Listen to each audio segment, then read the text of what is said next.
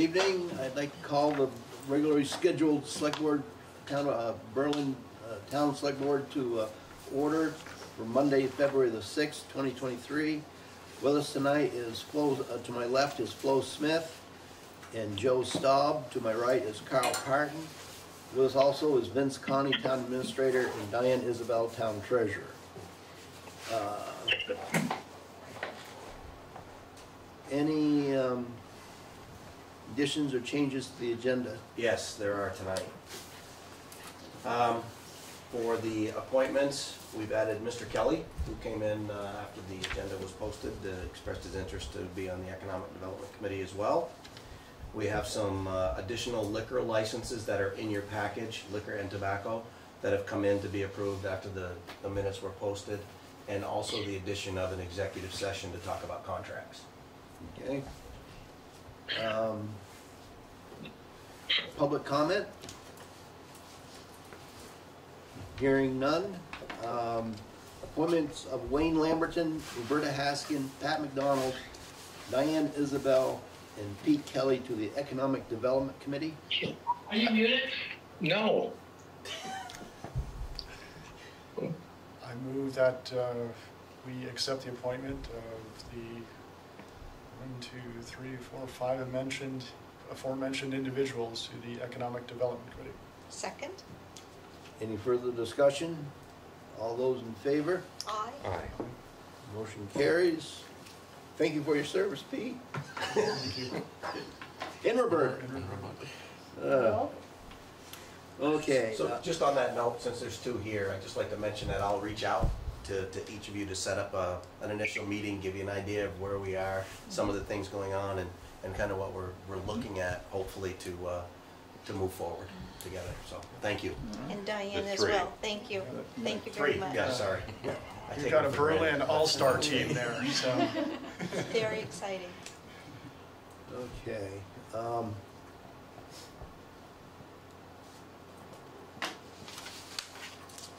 All those in favor?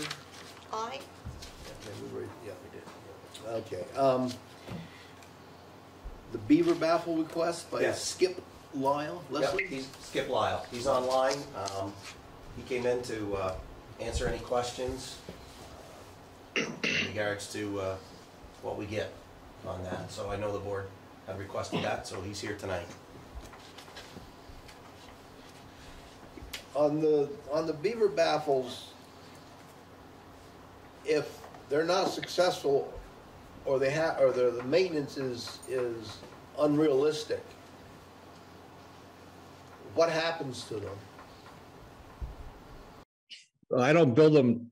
I don't build them that way. So, anyway, thanks for having me, everybody. Um, yeah, I mean, I've I've been doing this for decades, and uh, and my goal has always been to to build really high quality devices. The general term I use is flow device, and the reason you know one of the reasons I do that is is because I don't want there ever to be a, a need for constant maintenance. So I, I try to design that out um, so that they're very high quality. Quality. They're they're made for the long run. You know, not only do they have to to uh, essentially sneak water away from beavers, which is a big challenge, but they have to uh, survive the elements in a in a very harsh environment. So uh, extreme, extremely durable and effective, and and and uh, if I do say so myself, a great investment. um, Yeah.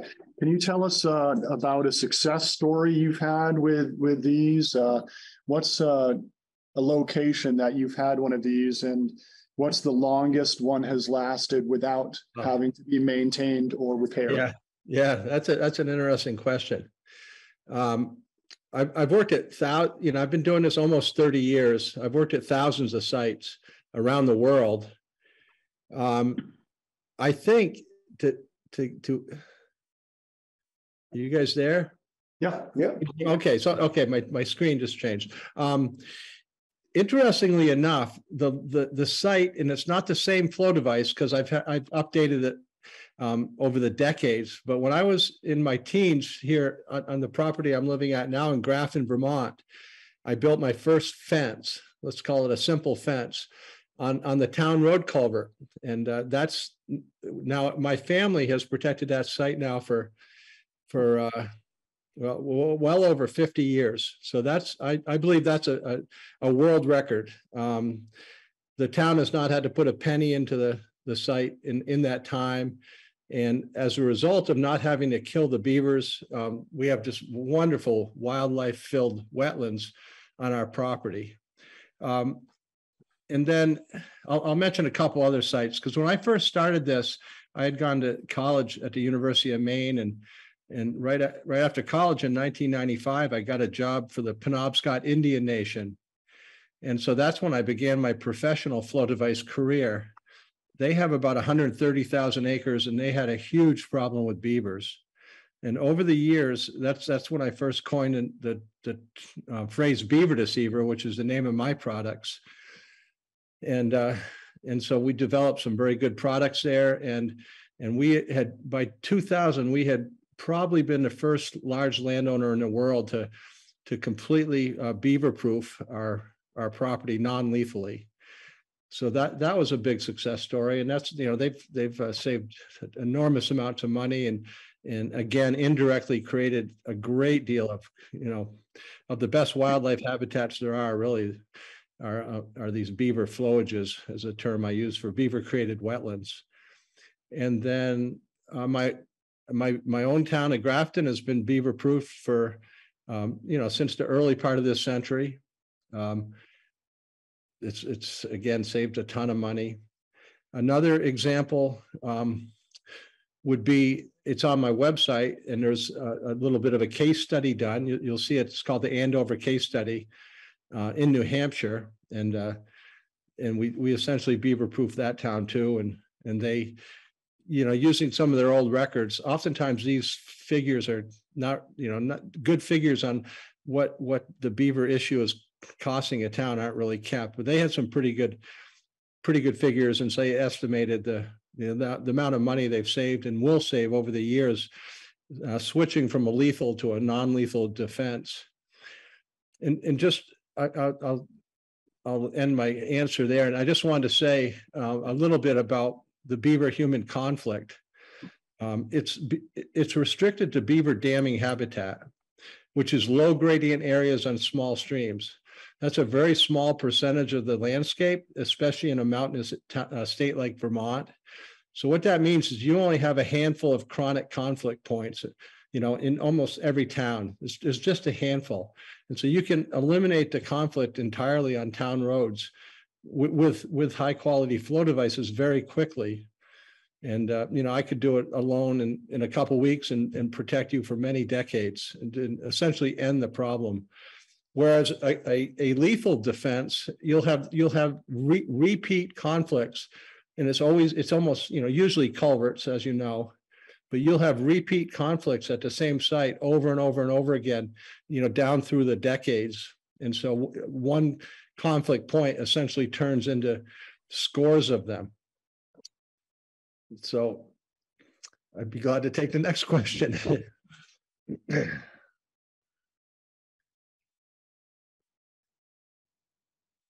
I see that there's no opt-out on this, uh, on the, your uh, memorandum of understanding here. I, I don't, I don't have a memorandum of understanding. That, Oh, that may be somebody else's. This is the protect our wildlife that's gonna contribute I got fifty you, percent of the cost. I got you. I, you know, it's, it's a wonderful thing. We, we live in a, we still have an economy here where, where you can do so much, especially maybe in rural areas, based on tr- just trust. And, you know, I, I do that with almost every contractor, you know, I hire. And so I, I very rarely have the need for formal contracts. And, and it, it's worked incredibly well over the decades. Okay, so you're just providing the, the, the, the, uh, beaver deceivers for the, for this, um, save our wildlife or, Protect our wildlife. yeah, uh, group. So how does, um, I think how to say this, how, how does, how does it work if, if there's a problem, or if there's, if there's still a problem with the beavers at these, uh, choke points? Who, who takes care of it? I do. Yeah, all they're doing is, you know, they, um, you know, obviously are interested in non-lethal remedies, so they, they just support my work sometimes. Um, but I'm, I'm always responsible for the quality of my work. And, you know, I have, I have, you know, many, many, many different, different types of clients in different places and uh, it's always that way. But the thing, you know, and so, yeah, your best guarantee is just hiring somebody. And I, I, I- don't mean to toot my horn, but it's, it's just hiring somebody who's really good. Who's, who's, who's gonna do a really solid job and, and, uh, and those people are very rare. Um, and then another thing to keep in mind is that, that, um, a kill defense, um, you know, some of your sites in town, you may have been killing the beavers you know, for, you know, decades since the first beavers came back, because it's, it's usually the same, those same culverts in the same places in beaver damming habitat that are, that are problems. And so a kill defense is the only, the, well, it, it guarantees that you'll never solve the problem. You know, it's, it, it can be a very good short-term remedy, but it's a very poor long-term remedy. And so, you know, a, a, a, a- what I call a fixed defense, just something in place to prevent that culvert from being clogged. You know, whether you have beaver, th- beavers there or not for, you know, for a long time is, is really a, a, a, a much better guarantee of a, of a, of a sol- of solving the problem.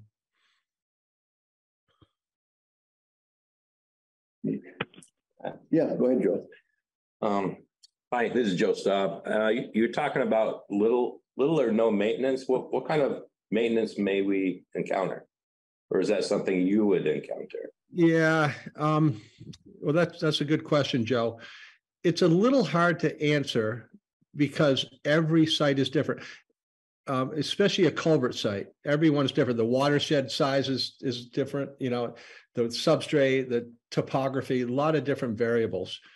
But generally speaking, so I have to, I have to speak in gen, gen, generalities.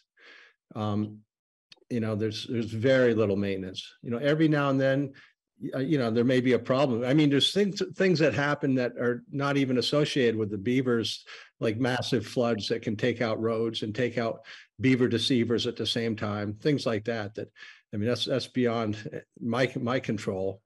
But i- in terms of just the beavers themselves, it's, uh, it, it'll be, it'll be, I'll, I'll try to design, eliminate um, maintenance requirements to the greatest extent that I can.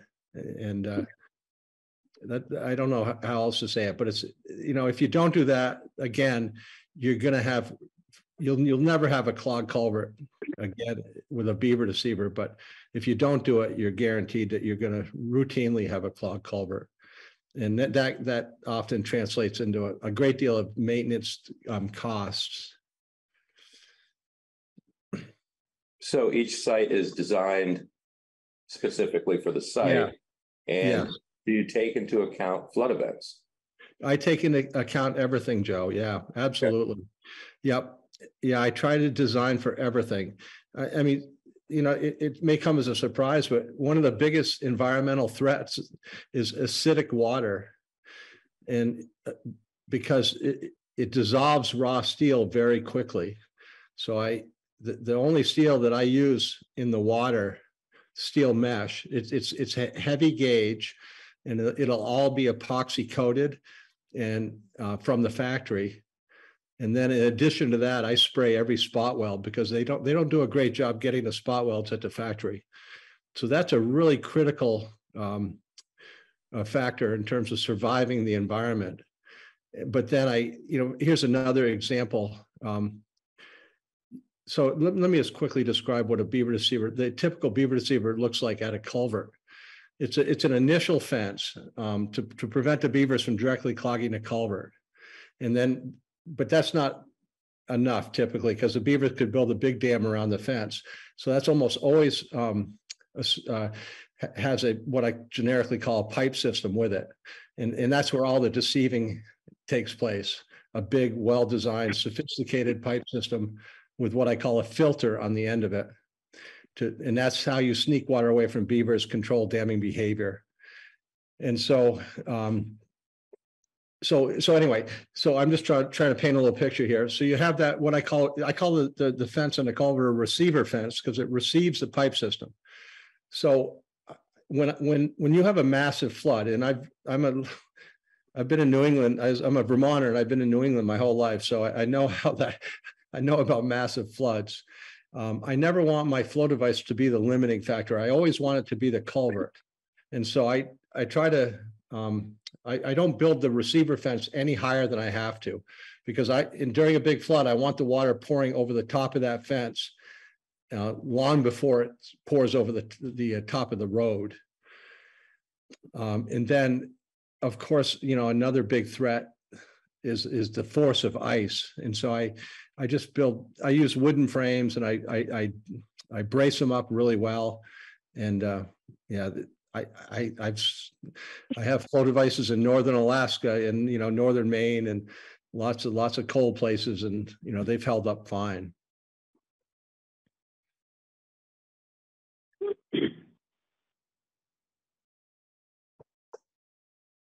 I'm curious, uh, like, how they gonna work when they go backwards?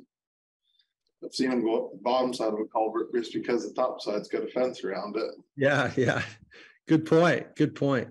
It's um yeah, boy, you have to think of everything in this when you're dealing with beavers in this harsh environment. But um, you know, probably 95% or something of the damming efforts occur on the upstream side. So so that's the side that you really have to have a sophisticated flow device on. But you know, sometimes I'll put uh, I'll do something on the downstream side um, you know, it, it can be much simpler and it, it's not a threat at every site, but I'm, I'm very uh, aware of that possibility. And, uh, so I, I don't, I don't, I will never use like a, a full vertical fence because I, I don't, and so oftentimes I'll use sort of a horizontal fence that I kind of arc over the culvert because I don't want to put anything vertically in that's going to catch debris and impede the, the, uh, the capacity of the culvert. And so, but, but that's usually enough to discourage them from coming up. And then the water flows underneath that arced, horizontal arced piece of fencing. So I'll definitely, um, take that into consideration, let's say. My other question is, you, you keep talking about culverts and stuff. Have you looked at where they're, they're looking to install these projects? Cause one of them isn't even a culvert, it's an arch, arch bridge. Yeah, yeah. bridge That's Yeah, yeah, yeah. thirty feet and then you have two five foot culverts side by side with a watershed the size of a pond. Yeah, yeah, yeah. Thanks for pointing that out. Um, you know, I just use that as shorthand. Um, an- another way I, I, another phrase I use, which is a little less simple is, is uh, I, I, I divide damming sites into two categories. Narrow man-made outlets, which can be, you know, bridges, culverts, overflows on man-made dams. It's, it's mostly culverts. It's mostly road culverts. And then what I call regular beaver dams, dams that are away from narrow man-made outlets. And I, so I've worked at uh, virtually every type of, of uh, outlet or culvert or, um, there is, including, you know, concrete bridges and, and huge culverts and little culverts and everything in between. So I, I'm very, you know, I- one advantage to, to having a lot of experience and working a lot of different sites is I- I'm very, very um, adaptable or adaptive. So I, you know, and that, and that's a critical, um, a qu- critical quality to, to maximize your success rates. S- Because, you know, uh, regular beaver dams are pretty consistent, but every culvert site is very different. And so you have to, again, you know, as I've said, you really have to mold, mold the design to fit the, the, uh, you know, individual characteristics of a, of a culvert or bridge site.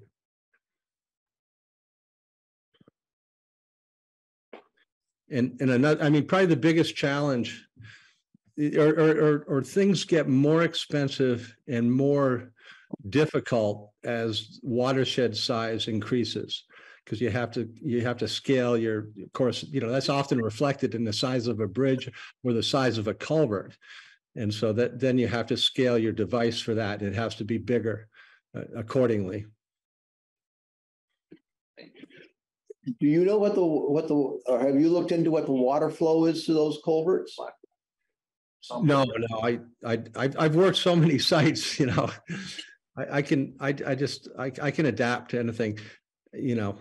I can, I can do it. And, and if, if it's a, if it's, now every now and then, I mean, the only time I, I sort, and it's very rare that I, I might recommend against a flow device is in, is when it's um, a beaver dam in a massive watershed.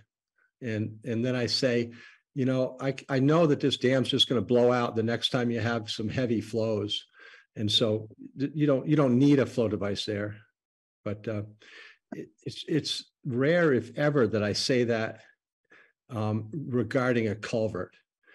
Because um, even in a giant watershed, it, if a beaver clogs a big opening, a big culvert or a small bridge, then the, the dam is kind of wedged in there and it can, it can survive a mass, a big, you know, a really big flow.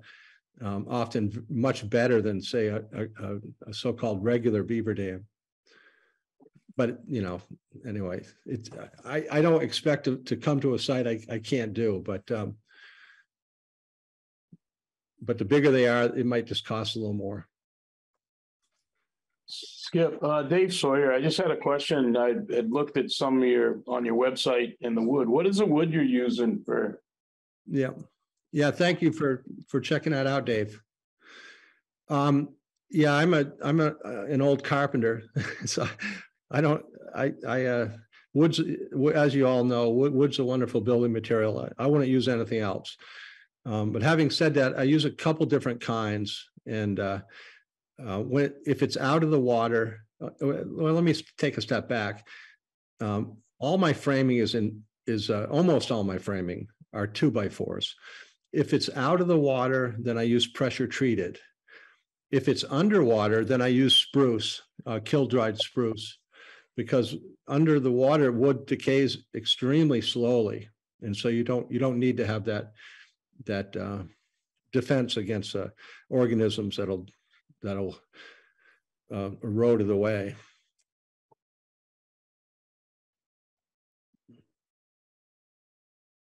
And what was your total cost for these uh, baffles?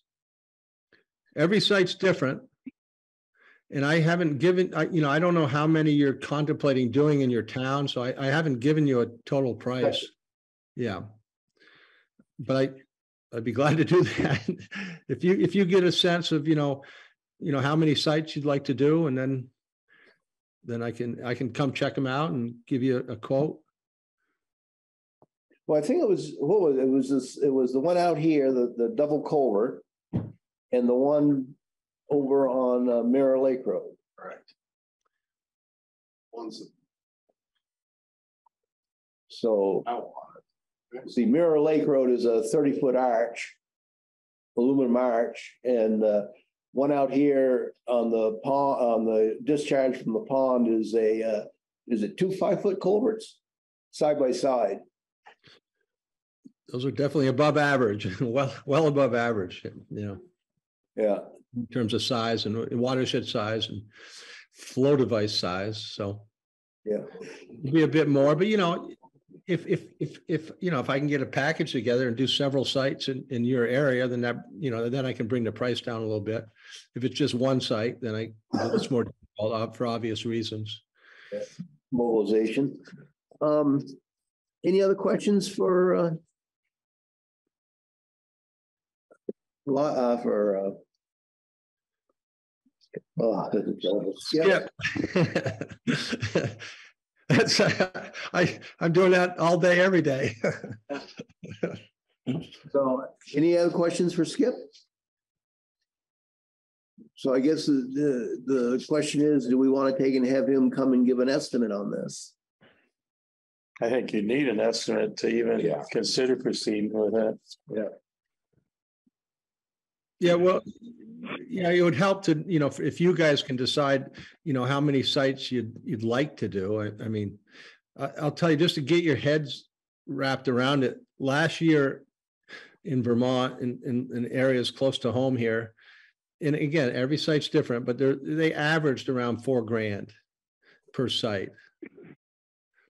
And, uh, you know, half of that's materials. Um, roughly, so. It might be a little more than that if you have really big watersheds.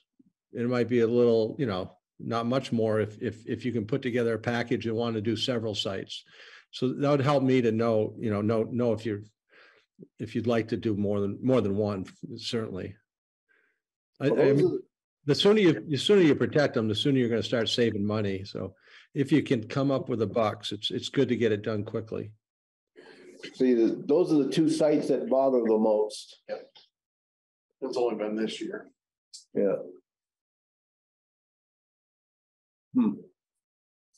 So I guess again, it's a question, what, what does the board want to do here? Do we want to take and, and pursue this, or do we want to take and drop it?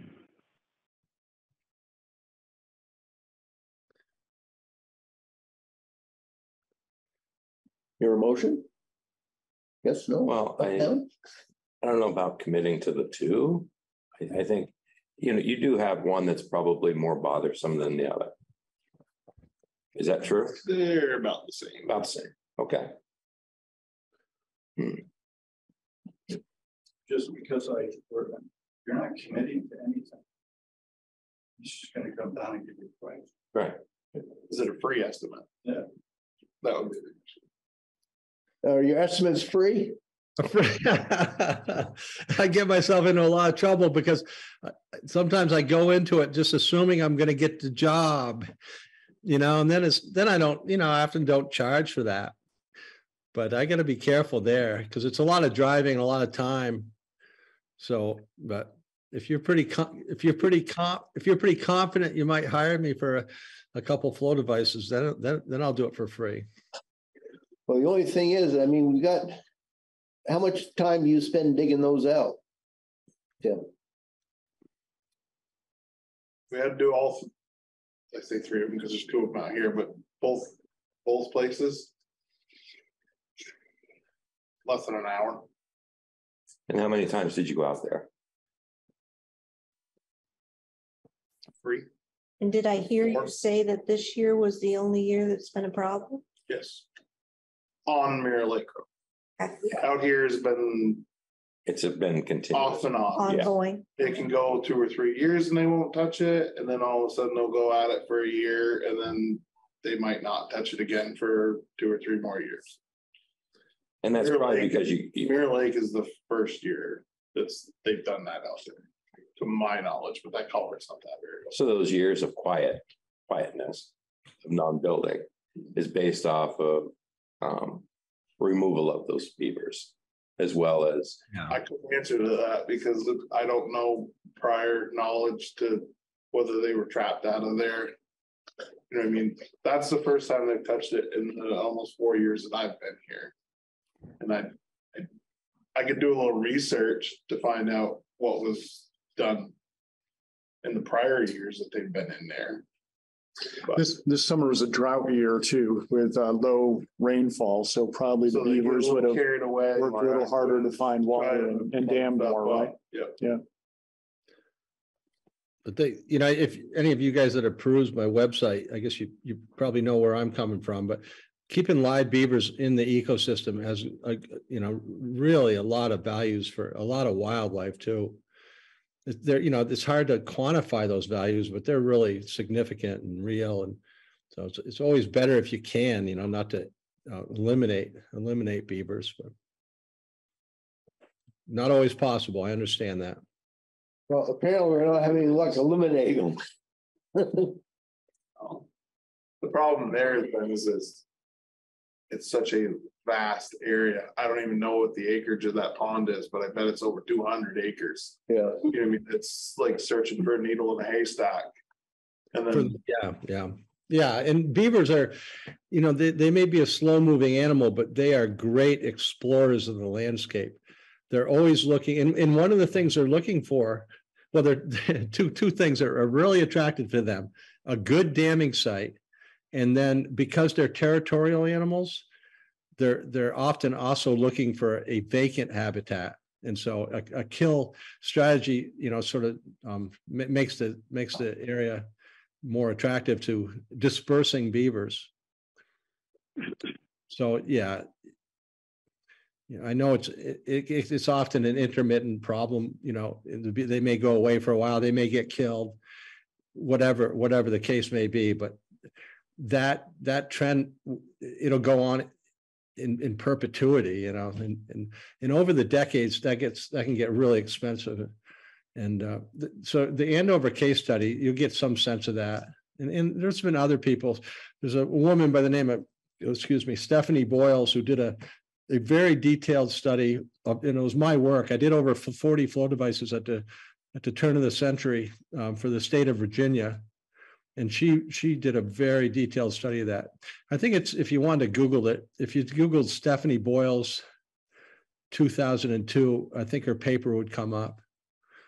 And so they, I, I, the state, the state, you know, has saved millions of dollars. The Penobscots have probably saved a million dollars over the, you know, now over the decades. My town has saved t- tens or, or hundreds of thousands. I mean, so, yeah, oh, you know, ta- a- few- you know, as you guys know, a few decades goes by pretty fast. And Is uh, the, is so- the saving, those savings will really add up. Yeah, is, is the savings from your perspective, maintenance of the potentially Yeah. clogged, clogged, uh. Yeah, culvert? that's, Yeah. yeah, that's primarily it. Yeah. You know, it's just so frequent that road crews have to go out and, and clean a, clean culverts and, you know, sometimes that can get pretty uh, difficult. Say if a beaver really clogs it in the middle of the culvert. And then you have to, you know, you may have to ramrod it and you may have to do it every day, every week until you kill the beavers and, you know, so that's really the, the big and most obvious cost. But then there's, you know, clearly there's, you know, this other cost I mentioned that is rarely appreciated or, or quantified. And that's, you know, if whatever ecological values are lost by, by eliminating this, this, uh, you know, extremely valuable native um, keystone species from the environment. But, but that, that's not, and that's not part of any of these studies. That's just, that's just a, a big part of my thinking. They're, they're all just quantifying the, you know, the maintenance costs. The, and so Andover, Stephanie Boyles are, are big ones. Um, you know, I think there's a, there's a fellow in Massachusetts by the name of Mike Callahan at Beaver, a, a company called Beaver Solutions. I actually, um, I was, he was a protege of mine and he did it. He did a similar study too that you probably find on his website, you know, but it, it, as long as it's a high quality flow device, you can't, it'll pay for itself many, many times over again and really quickly. Um, because uh, culverts are beaver magnets. There really are, they're, such ideal damming sites. There's never been anything like that, like that on the landscape. And that's say, when they have an ideal, you know, a, a road is essentially a giant man-made dam with a little tiny hole in it, you know, so that's just, couldn't be a better damming site for beavers than that.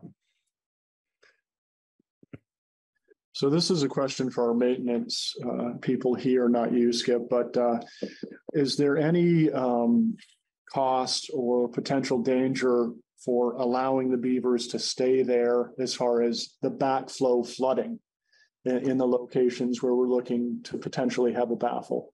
Uh, in other words, are there property owners or, or houses, especially here on on this road that are can be adversely affected if the beavers are allowed to stay and the backflow floods onto their property. The other of Mirror Lake Road, the city of Montpelier owns that whole valley for well back in the Northfield, so. I mean, it's not gonna affect them at all. It isn't usable property and nobody there as No. far as that. And then out here. I don't, you know, I mean, we don't let it get too high out here. But if it backed up into there, I think it's been mostly back into the state right away.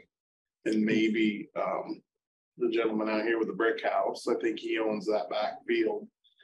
I don't know if it get that high to get into his field or not. I have a question for you, Skip. This is Joe Staub again. Do you, when you build these dams, do you kind of control the, the water level that's allowed? By the beavers? Um, I guess that depends, depends on the site again. Um, I'd say every regular beaver dam I do, yes. Yes, um, you know. You, you, I'm, you- the, system has to sort of tie into a beaver dam, so you, you need the beaver dam, so you're, you're controlling it. Um, whereas at, at most culvert sites, or all culvert sites, it's not acceptable to have a dam in the culvert, you know, so even if you have a, you know, a nice pond there because you have a clogged culvert, that's got to go. That, that just goes, so. So I'm not, you know, every now and then I'll come to a site that really lends itself to a roadside wetland. And I will, I will encourage the beavers to dam out in front of the culvert in an, in an arc. Um, I still have to protect the culvert, but it's, a it's a great, and, and, and there's several examples here in southern Vermont where they, the town then uses them as a fire pond. So it, in fact, it's one in my own town. So a roadside wetland on a quiet road that, that, in a road that's relatively high can be a, a real opportunity. And it's a great place to view wildlife. Um, but you know, ninety-five percent of the culvert sites, it's just, I, I don't do that and I'm just preventing any damming behavior at all. So at, at the culvert. I hope that helps, Joe. Well, I, I think it does. I, so the question or discussion around the table was with the water. With the beaver dam. Um. Allow the water to back up onto property owners. So I, I think you have some control there with, with this. dam Yeah. system. Yeah, yeah. At a site like that, I'm, I'm trying to prevent the growth of a beaver dam. Yeah. Entirely, so. But if, if you, if you get a big flood or a big, a big flow. You know, at some time, if you, if- with an unprotected culvert and there's a beaver dam in it, then, you know, then you have problems and, and every now and then that'll cause a road to blow out. Um, so that's a big part of that, you know, so in some of those studies, like the Virginia study, I think they, you know, they, they had experienced a few of those, and so they can, you know, you can quickly spend a hundred, hundred grand or something when that happens. So just for the sake of kind of moving this forward, um, do we want to table this? Do some further research, maybe get an estimate from Mr. Lisle and then, uh, put it back on the agenda? I think that'd be the wise thing, because I mean, we're not.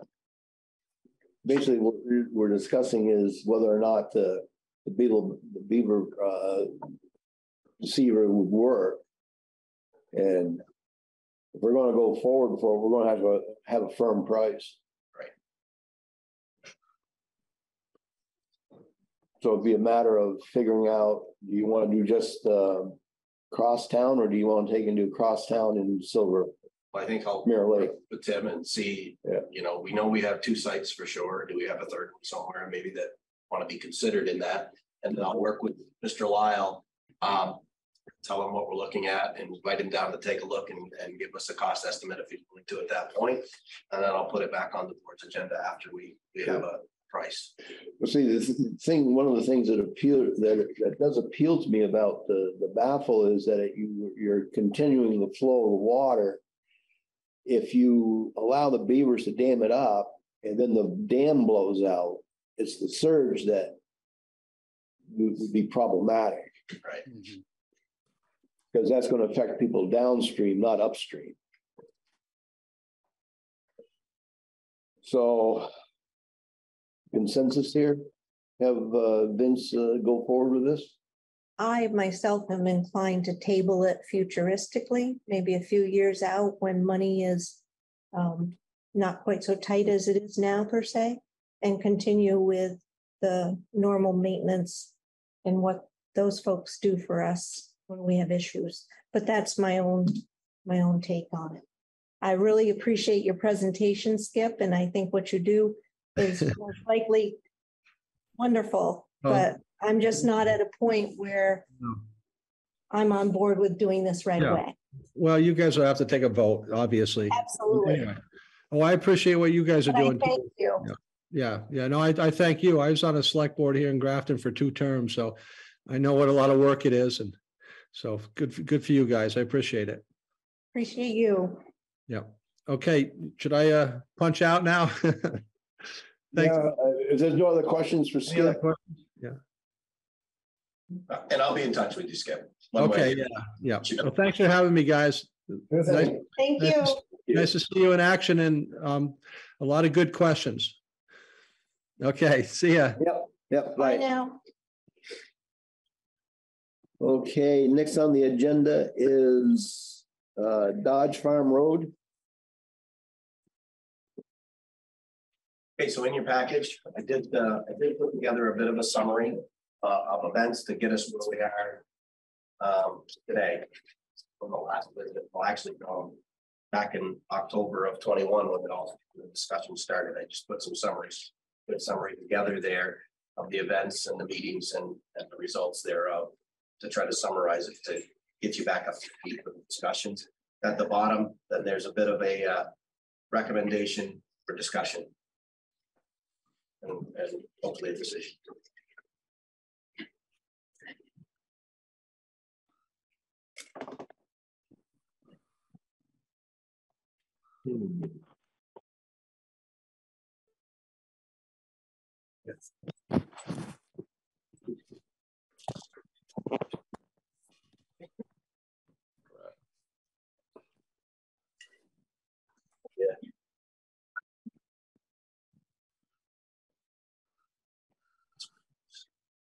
So they haven't done anything from when we inspected it last summer.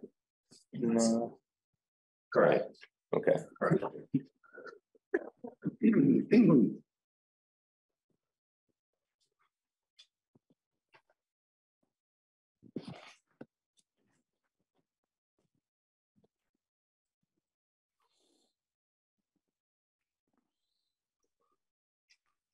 So motion to accept the recommendations listed at the, at the bottom of this summary is, is that what we're looking for? Uh, well, it's, it's entirely up to the board. I'm just looking for discussion on this and then, you know, yeah, uh, basically a board decision on how we want to proceed. Could I hear what the recommendation is?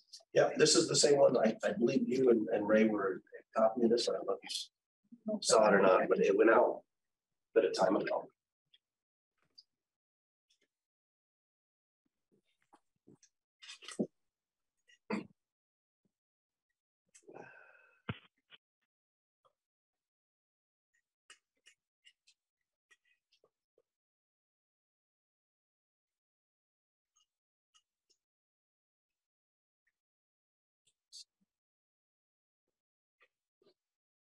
Ray, Ray said he was gonna be here tonight as well. Skip. You told me he was gonna going to call in. There is a eight zero six. I, I'm in here. if You're looking for me. Okay, great.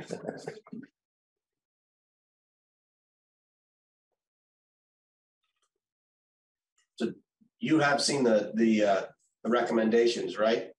Mr. Sear? Yes, I have. Okay. All right. something good.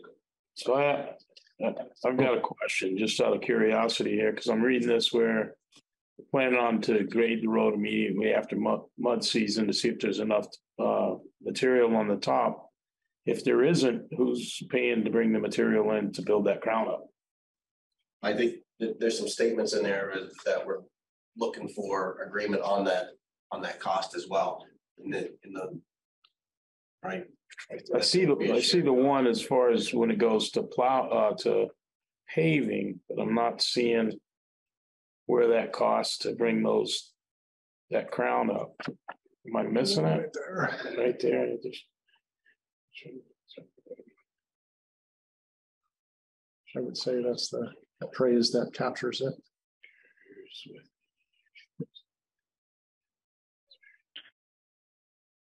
You know, at a quarter inch per foot crown, uh, uh, as uh, mandated under A seventy-six, you've, you've at least got that on that road right now.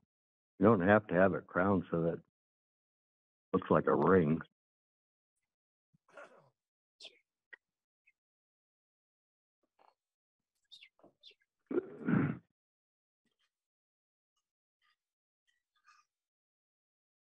So can we make a motion to uh, accept the road uh, with the stipulations listed in this document without reading the whole uh, six paragraphs, or That's up. that's my motion?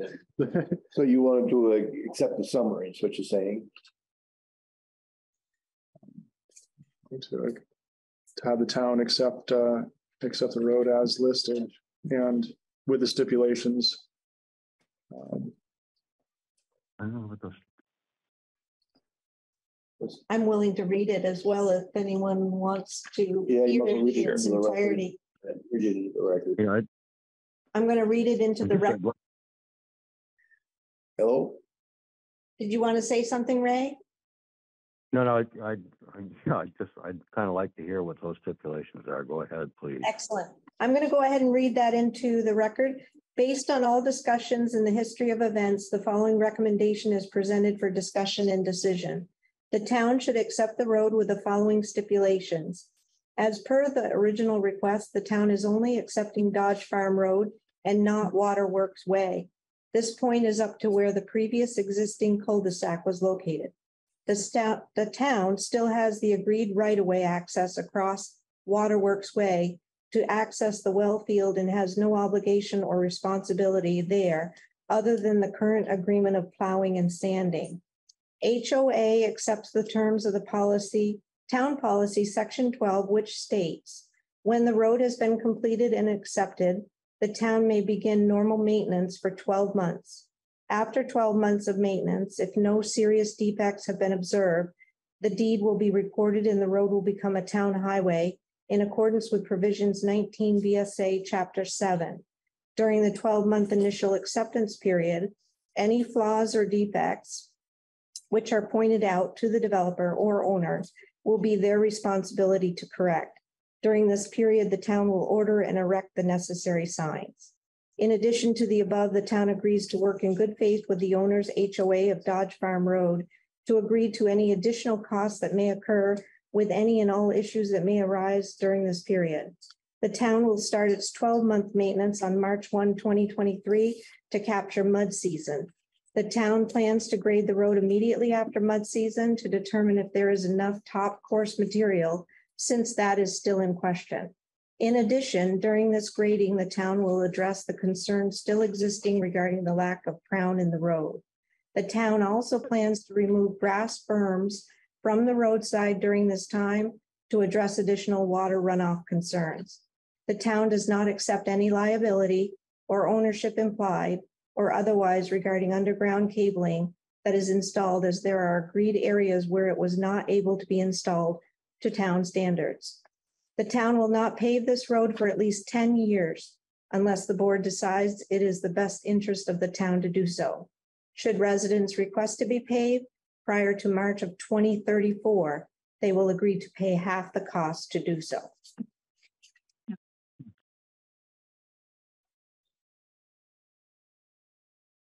Is that your motion, Carl? Yep, I, um, Here a second? I'll second. Okay. interject a Roberta. first. In addition to the waterworks way spur, Dodge Farm Road also spurs a little bit past the roundabout. And you may want to address that in, in, in our previous discussions. The town was not going to take that over because there's no place for the Look, Turner. uh, truck to turn, trucks to turn around. Do you want to include that in this, that, that portion is not going to be a town road? As a, a so- I- I think- homeowners association, we already had discussed it and knew that wasn't going to happen, that was not going to remain. I, I think that's the way that's written. If I'm Yeah, not it's just, mistaken, that just it's the not roundabout. Just to where the cul-de-sac existed. Okay, okay. I, I think that's the way It is. it's written. do that, because I think Ray had mentioned that to me, well, Yeah. that was written. Waterworks Way crosses over lot number nine. Yeah. And then Dodge Farm Road continues up to two or three more houses, two, two or three more driveways. Yeah. But it's very, it's, It's seven hundred feet. yeah, it's not wide enough to be a town road. Yeah. All right, so that's it. It terminates at the cul-de-sac. Yep. Any other discussion? All those in favor? Aye. Aye. Aye. Aye. Motion carries. Thank you very much for coming in, Roberta. Thank you, Roberta. Thank you, Ray. Thank you very much. Yep. Uh, let's see here. Um, Vermont Declaration of Inclusion Discussion Decision. Yes, I believe we have Mr. Coleman online. To present that. Mr. Cohen, can you hear us? You're on mute. If you can hear us. Norm, you're muted. Can you hear me? Yes. Yes. Thank you. Okay, well, thank you very much. I'm gonna just introduce my friend and colleague, uh, Bob Harnish, who was the founder of this uh, initiative, the Declaration of Inclusion Initiative, and ask him to speak for a few minutes. Then he's got another presentation to make, and I'll try and fill in the gaps. All right. Thank you, Norm. Uh, As Norm said, my name is Bob Harnish, one of the founders of the uh, Inclusion Initiative. And um, uh, we are, you know, we're just here to say a few words about an initiative that we think is important to Vermont and every town in it. We're here to talk about a simple statement by the leadership of a town that they want their town to be an unbiased place where everyone is made to feel they belong. But it only works if the leadership of the town leads the way and sets an example of being unbiased and respectful of all residents and urges citizens to model similar behavior. So what is that statement uh, that we're talking about? I think the, the select board members, I, I think have uh, a copy of it in their packet. But for, for uh, others who may be present, uh, I, will read it. It- It's quite short. The town of Berlin condemns racism and welcomes all persons regardless of race, uh, color, religion, national origin, sex, sexual orientation, gender, identity, or expression, age, or disability, and wants everyone to feel safe and welcome in our community. As a town, we formally condemn discrimination in all its forms, commit to fair and equal treatment of everyone in our community, and will strive to ensure that all our actions as a town, uh, policies and operating procedures reflect this commitment. The town of Berlin is and will continue to be a place where individuals can live freely and express their opinion. So to give a little history, I first heard of the Declaration of Inclusion from my cousin, who was chair of the select board in uh, Franklin. Um, Franklin adopted the declaration in September of 2020. And my town of Pittsford, just north of Rutland, adopted it a few weeks later, and then um, Brandon adopted. At that point, I began to think of this as a statewide effort. And I recruited Norm Cohen, who is with us tonight, and Al Wakefield to join me. So we are three octogenarians on a mission to make Vermont more diverse and the economy of the state more dynamic. Towns in your area that have acted affirmatively on this are uh, Moretown, Randolph, Richmond, Hardwick, Barre City, St. Johnsbury, East Montpelier. and eighty-six other towns and cities. These ninety-three municipalities representing nearly sixty percent of Vermont's population that have adopted a statement saying that they want their town to be more inclusive and unbiased. And to give a little history, which you, you all know, that the United States has a long-standing tradition of welcoming people from all over the world. Our Statue of Liberty is the symbol of our willingness and our eagerness for diversity in our population. This diversity is what makes us strong and a model for the world. So we suggest that being inclusive is the morally right thing to do. But Vermont, for Vermont, it is also the economically urgent thing we need to do. As a select board, you know the importance of looking ahead three years, five years, 20 years to think about the way you want your town to evolve. As a state, Vermont must look ahead too, because based on the 2020 census, we know that Vermont's population growth is stagnant and the average age of Vermonters is increasing. And we are losing our younger people to opportunities out of state. This does not bode well for the long-term economic vitality of the state. We need to grow the population.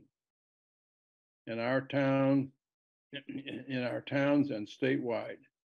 And one way to do this is to put out the word that Vermont is a welcoming, respectful place for all, where newcomers will be respected, included, and encouraged.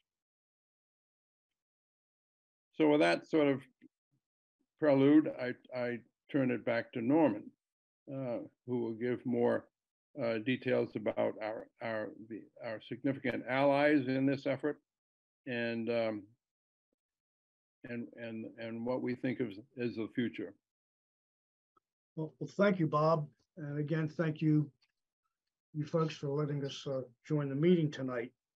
Um, last year, CNBC conducted a survey and the survey results were very interesting. Vermont was considered and established and recognized as the best place in the United States, the best state in the United States to live.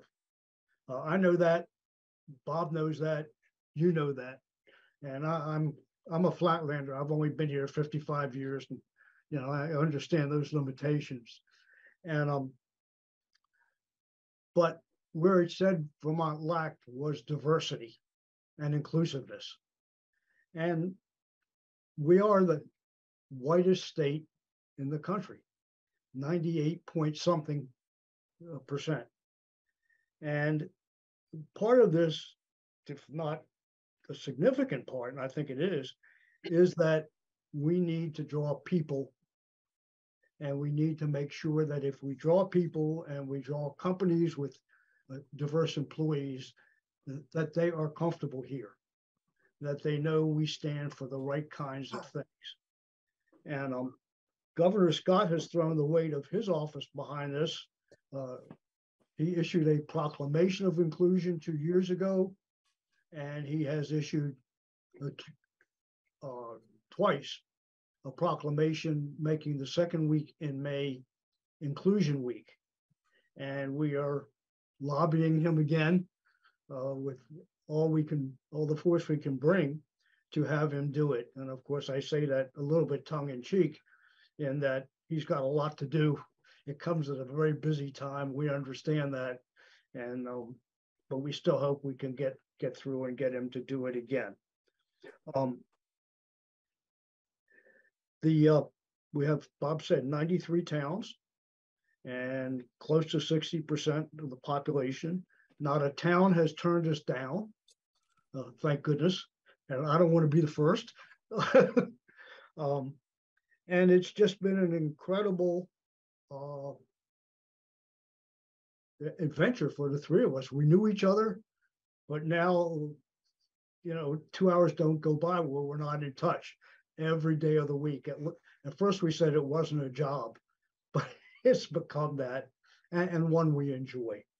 Um, I, I'm not sure what else I can tell you. Uh, the really, one other thing I guess I should say is that um, there are two phases to this. One is adopting the declaration and then putting its thoughts into practice, which we have called implementation. And um, so we're available to help with that. There are resources statewide and local or regional to help. And, you know, don't be gun shy about it because it can work and it could be some very simple fundamental things. And then it can be more long range and, you know, we welcome you, encourage you to do it all and we'll try to help and guide you to where you can get help if you need it. So I'll, I just want to say one thing, other thing, if I may. I wanted to commend uh, Mr. Conti. I had several conversations with him, and he is an incredibly uh, comfortable man to deal with, and you should be very proud. Thank you.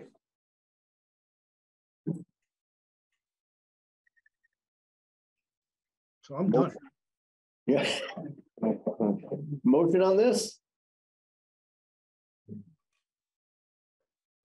A, a motion to accept the Declaration of Inclusion with some potential language change. Such as? Well, first of all, I'd like to say, uh, um, it's, it's too bad that we have to, uh, to, um, formally condemn things that I think humanity should, uh, just be automatically, uh, doing.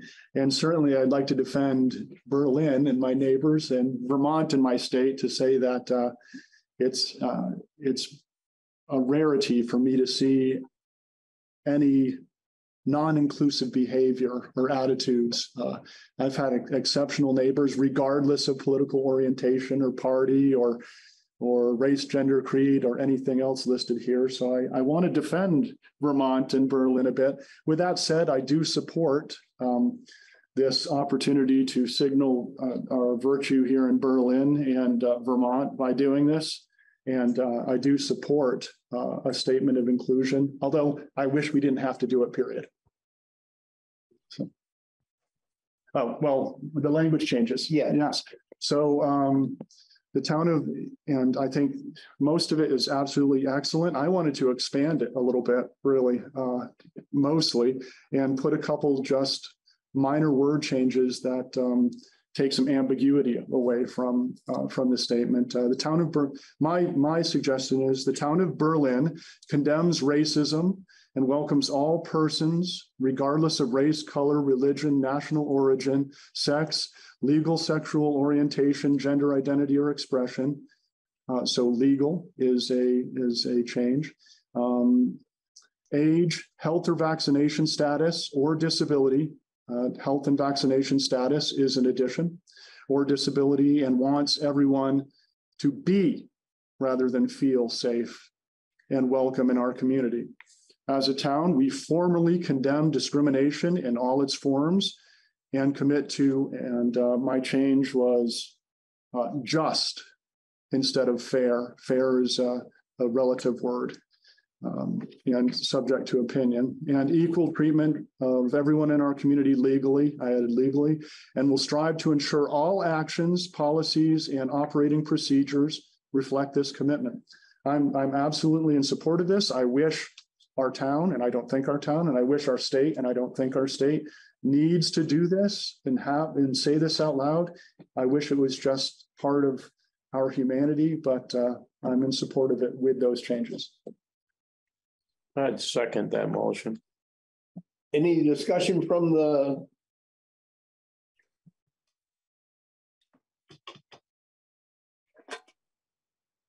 Any discussion on this, uh, the word changes? I, I just there was one word I thought I missed in the second paragraph. Did you insert the word legal somewhere? I legally, yeah.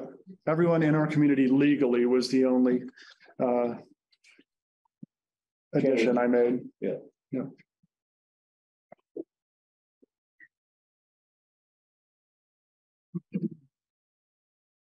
And it was health and vaccination. Vaccination status, correct. Mhm. As we noticed a couple years ago, there was a bit of discrimination specifically on that issue, in my opinion.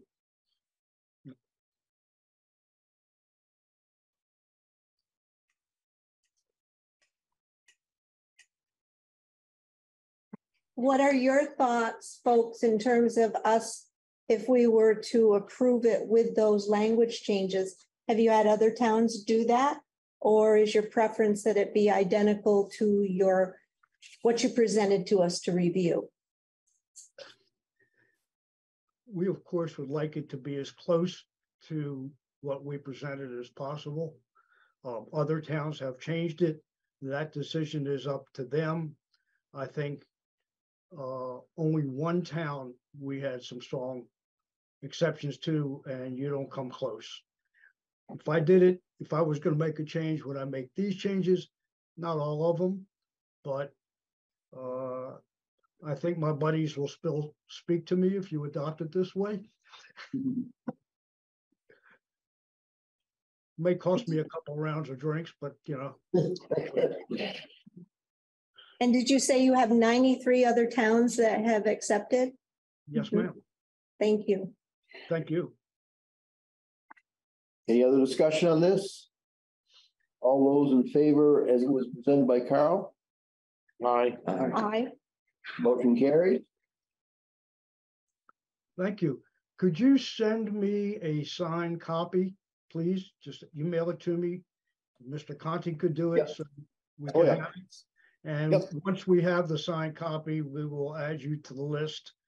Uh, and you can see it on, uh, Vermont Declaration of Inclusion dot org, VT Declaration of Inclusion.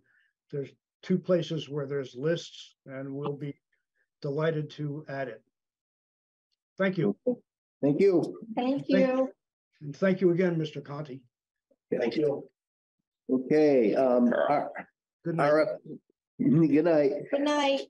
RFP for police network assessment and approval? Yes, so I've been working with RB Technologies, as you know, they did their complete system change out over here. And to get the quote for the system change out for the police. uh, and to update theirs, because it's kind of a top cop system put together over there. Um, they, they looked at it and said, before they can finalize their quote, they, they basically need to come in and do a full assessment. Uh, because there's been a lot of hands in it over there. There's a lot of things, some some wiring issues, they need to trace out to understand exactly um, what they need to do and how they need to interface with the state as well on some of the requirements. That's what this is. Um, copy of it in your package. Um, but, but that's what this is. This is, they have to do this before they can design the appropriate system for over there correctly. So this is their. This is, the assessment is the two thousand one hundred and twenty-five dollars. That's correct.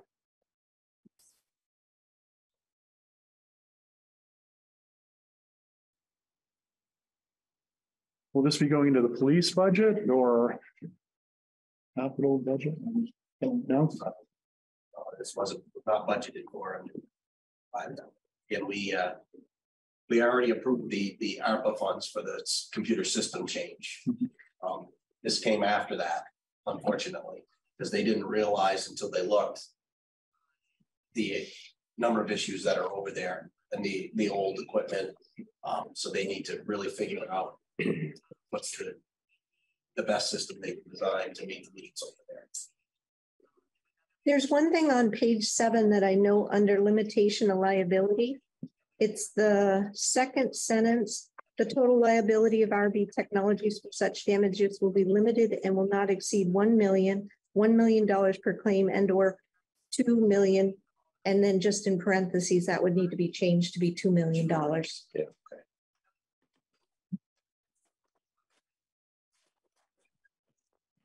okay. And just to make you aware, a lot of the computers that the police are using are eight years or older. Most all of them. I think that the nine years I've been here, we've replaced one computer. again, one of the things in conversation with them that we discovered with RB Tech is they do have the ability to switch from the ADS system that they're using for email through the state and whatnot. Um, based on the equipment that's installed, they could actually come, come over to our gov email addresses as well. And there'll be a reduced cost. Again, it'll be small, but there'll be a reduced cost not having to use ADS um, for that service.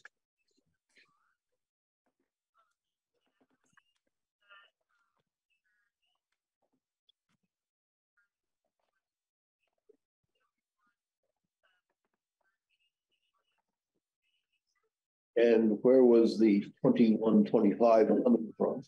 Well, my suggestion is gonna be, that's why we left some money in ARPA. Surprises like this.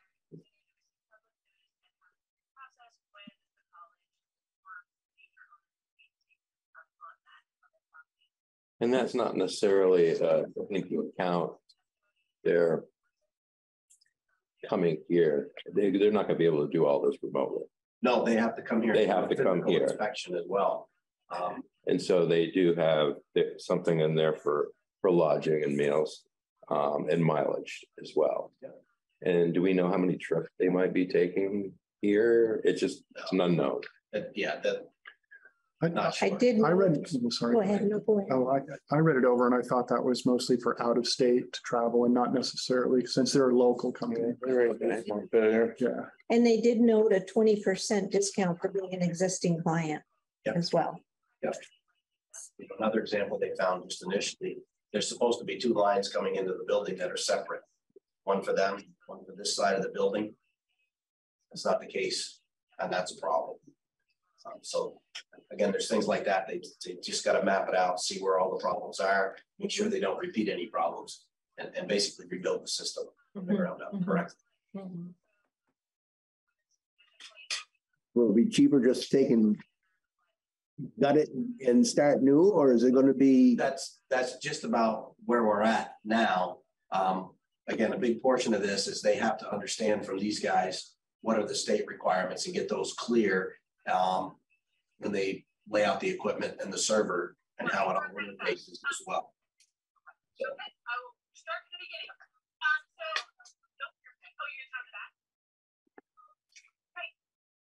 You took care of that. Four to eight. So that, that's the, that's the intent of this. Basically. Yeah. Any thoughts? I move that we accept the network assessment for the Berlin PD from RB Technologies uh, using ARPA funds to pay for it. Here a second? I would just add in the amount of two thousand one hundred and twenty-five dollars. And I second it. Thank you. Any further discussion? Those in favor? Aye. Aye. Aye. Motion carries. Uh, The water asset management plan, Yeah, they have a copy of both those, they're both with the state revolving loan program. Uh, for grants, from Diane's favorite. office. They are, um, uh. hundred percent. Uh, funding, uh, there's no match required for these. Um, And they're, again, uh, to develop a water asset management plan. And the other one is for the design phase of the uh, Scott Hill Loop. Can you say how much each one of them is for? Uh, yeah, I'll tell you the amounts. For the, um. Water asset management, it's forty-one thousand, seven hundred forty-five dollars. For Scott Hill. It's fifty-one thousand, four hundred and thirty dollars. And, and in those dollars are also, um, something that we're starting to capture now is ten percent for admin fees as well for the staff. So, Of course, managing it. So these, both these plans are uh grants. They are. Hear a motion on this?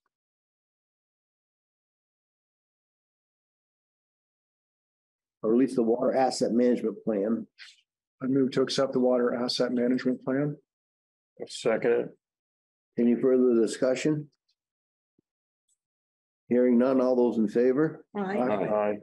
Motion carries, and then the Scott Hill Loop design, I make the motion to approve the Scott Hill Loop design and permitting hundred percent finding it, funding application in the amount of fifty-one thousand four hundred and thirty dollars. Second that too. any further discussion? I, I do have a question. Does, uh, just approving the design and permitting doesn't commit us to, uh, moving forward? Correct. With it and any timeline, right? Correct. There's no timeline associated with that. Okay. It's just to establish the plan. That was my only question. Good question. Any other discussion? Hearing none, those in favor? Aye. Aye. Motion carries. Um, the highway equipment truck bid acceptance approval? This is, uh, this is for the, well, again, just to to reiterate, the, the truck that we ordered last year is finally in. They're putting the body on it. Um, and as we discussed, It's sitting at Allegiance. Yeah. It's Not getting a body put on it yet. I don't know when it will get down it's there. physically in the state of Vermont, It's at a facility that can do that. Let's start with that. Um, this is a follow-up to the discussion that we had during the budget season about moving forward with a, with a truck. Uh, now using ARPA funds and the proposed budget passing. That's what this is. Should the proposed budget pass, we can have this truck, this amount, which is two eighty, one twenty-five. Oh, sorry, two eighty, one twenty-one, twenty-five cents. So. Uh, and that is, uh, road ready, if I'm not mistaken, at that price. And Again, the urgency on this one, call it an emergency is, right, they only have two left. Or one now, one left. Uh, we wanna, get- wanna get this in and, and get our name associated, tied to, tied to that truck, committed to that vehicle.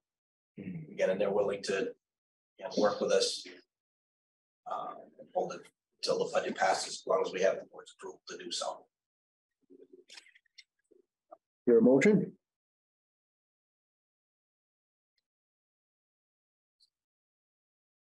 Move to accept the high, highway equipment truck bid. From New Hampshire, HP Fairfield of New Hampshire for two hundred eighty thousand. One hundred twenty-one dollars, twenty-one, twenty-five cents.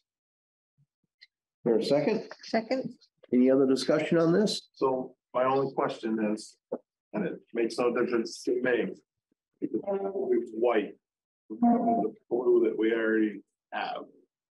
Um, some, Does anybody care? is the Yeah. question. some, We can get. it some wrapped. towns, some, yeah, we can have it wrapped, or they will have the cab painted. to Match the other vehicles, or we can just leave it white. But it'll be at an additional cost, obviously. Yes. how much additional cost? Vinyl wraps All probably. back in about thirty-five hundred bucks to wrap it. I don't know what paint. In the spirit of our recent proclamation, I believe we should accept it, the color that it comes to. Well, that's perfectly fine. I'm just making sure. Yes, We'll still take our sticker. so I was just making sure that some, some places like to stay color coordinated. Uh, will, you know, Will it make a difference in how you plow the roads? No. Okay. And it has become somewhat of a common practice now, this. They're getting a little color matched because it's all you can get. I see a lot of towns with multiple colored trucks, so. Well, It's, like I said, it's, it's come to the point where you, you get what you get and, Yeah, and you go with it. Unfortunately, Are we gonna be trading in a truck towards us as well? that has been yet to be determined. Um, They were in the process of talking with the dealer that they deal with, with the chassis to see if they would take it in on trade. Or there was the entertainment of that we sell it privately at this town. Or depending on how things go. Um, I was going to approach them, because it probably will be after town meeting by the time that Mike's truck comes. If they would be willing to take two trucks on trade-in for the truck that we have currently at Allegiance. So it would be the two thousand fifteen and the two thousand seventeen trade them, and it would lower the cost of the truck that we've already currently have purchased through Allegiance that has been over, well, it'll be over a year of waiting by the time we get it. So there's a few options to play out there as far as how that goes. As long as we don't trade in more trucks than we get back here on the, Yeah, not gonna go down that road again. so what this is, is it'll be, this ten wheeler will replace the six wheeler, which will up, well, all, all the trucks will be ten wheelers. Um, it should speed up the salt route, because that's what it's gonna be replacing, instead of having to come back and get loaded multiple times. One truck will be able to do the entire loop route, and then like we've had in the recent past, between springtime, we lost a truck for two months for mechanical failures, so they were working on it. Um, so that would add, be an added, an added benefit to us to have another truck for usage during mud seasons. And then we've had a few breakdowns this winter that this would help contribute to keeping us moving a little faster. We've, we've juggled a few things. I've come in a few hours early. More earlier than the other guys to get almost ninety percent of my route done. So they could have my truck when I took something else and plowed with. So. Trying to keep the wheels moving. Right. Anything else on this? Thank you for being proactive.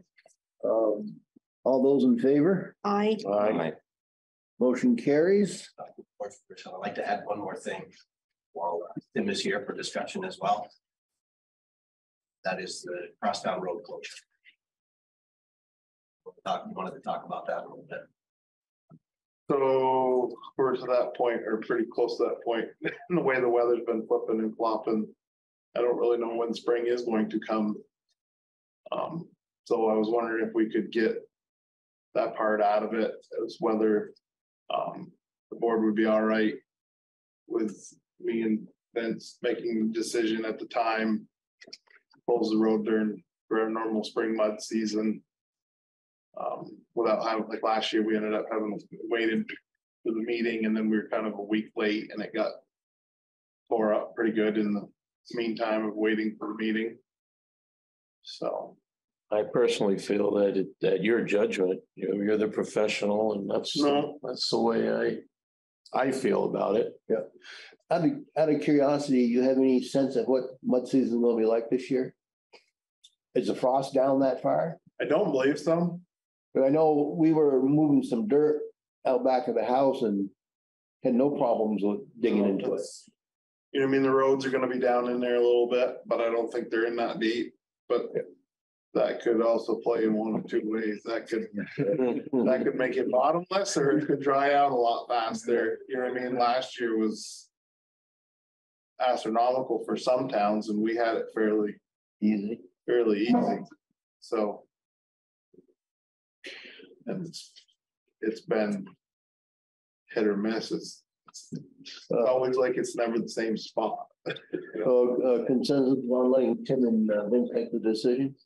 I, I got a lot of input last year when I first got on the board about that issue, because that was the big issue when I first got on and, and the large majority of people, uh, especially those directly impacted, wanted it closed when it was muddy and, and, and unpassable. So I, I would trust, Uh, uh, your judgment and just to keep the board informed. And then one more to add, it hasn't happened since I've been here. But there was a year or two that they, we didn't barricade it, but they closed Scott Hill. I'm sure Brad, you remember. Yep.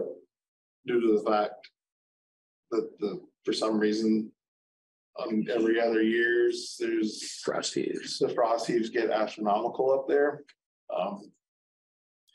This year, it almost seems like it's starting a little early, so I don't know if they're just gonna maintain where they're at or if they're gonna get out of control. Yeah. So that might be one more thing to just be on the radar for. Perhaps have uh bumps ahead signs or something Yeah, ready to you know go. what I mean? If nothing else. We have them, so it's just a matter of going and putting stakes up with the signs on them, but. Just know one year they got so bad that the cars were bottoming out on them and they, they closed it to through, didn't block the road off, but. They closed it to through traffic, just tried Pass to, your own risk type of thing. yeah, just tried to slow some of the traveling down on it.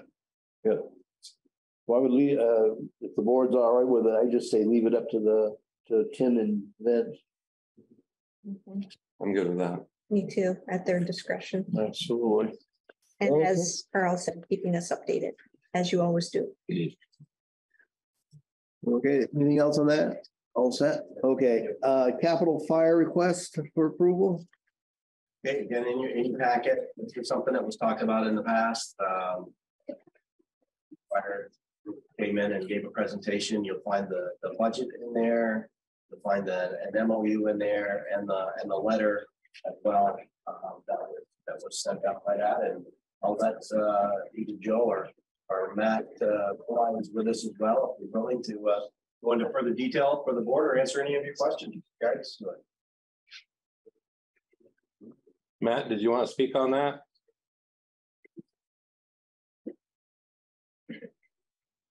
Um, I, I can if you'd like. Can you hear me okay?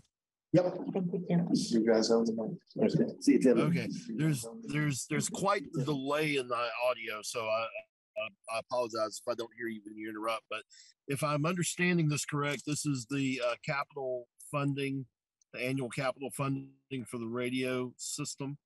Uh, the Capital Fire Mutual Aid Radio System serves, uh, pretty much all of central Vermont with the exception of Barre Town. Um, and it's now even extended over into the Mad River Valley, covering uh, Warren Fire Department or Waitsfield. I can't remember. Um, it's a antiquated system held together currently by duct tape and baling wire, and a little bit of bubble gum.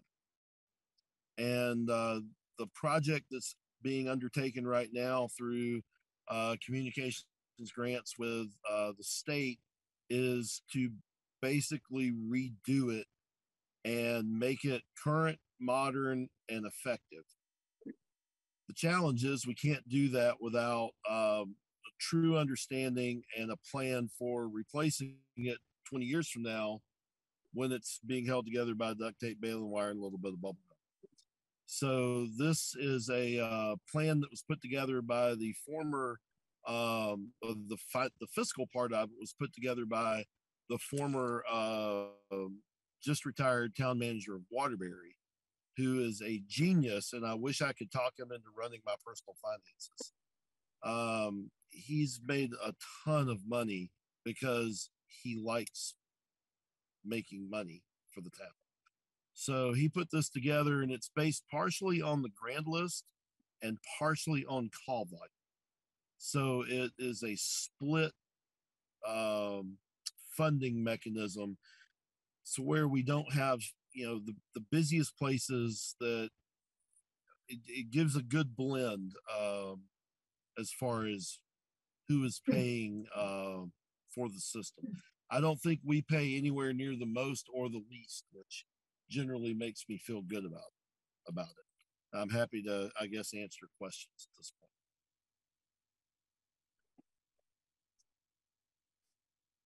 So I, I have a question if this is okay with the board. Go ahead. It's usually off the wall question, but I have. I see like the ten-year total, for the town of Berlin is, is sixty-five thousand, six hundred and ninety-three. Joe, you look like you know where I'm going with this. Um, like you know where I'm going. Yeah, I'm just throwing it out, an idea out there. If we had the extra money to do that, could we pay ten-year volume right up front? Ten year and be done with it for the next ten years? Done with it for the next ten years. Would that be something that they'd be interested in and that I would be interested in doing?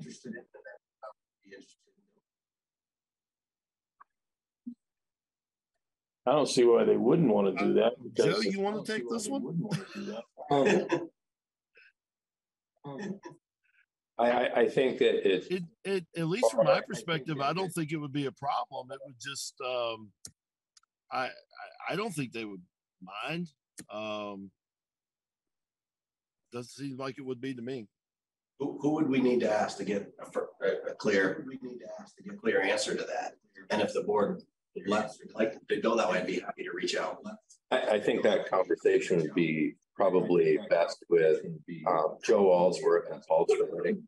Paul Cerruti. How would this be affected uh overall based on all of the town terms of the ones that do not approve it? How will that offset what Berlin would be billed? That's one of my concerns. Matt, can you mute yourself, please? I just muted. Thanks. In other words, if we were to pay the sixty-five thousand six hundred and ninety-three dollars upfront under ARPA funds, would we still have additional costs if many of these towns do not approve? What we're finding is we're, we're finding more, uh, communities actually joining. To tell you the truth, because of the, because of the. Because of the radio systems that are out there currently. Um. And, and so, you know, this, this was a presentation, I think you're still gonna find po- possibly. Depending on, uh, the people or the other communities that get involved with it, or you might find the community that will decide not to.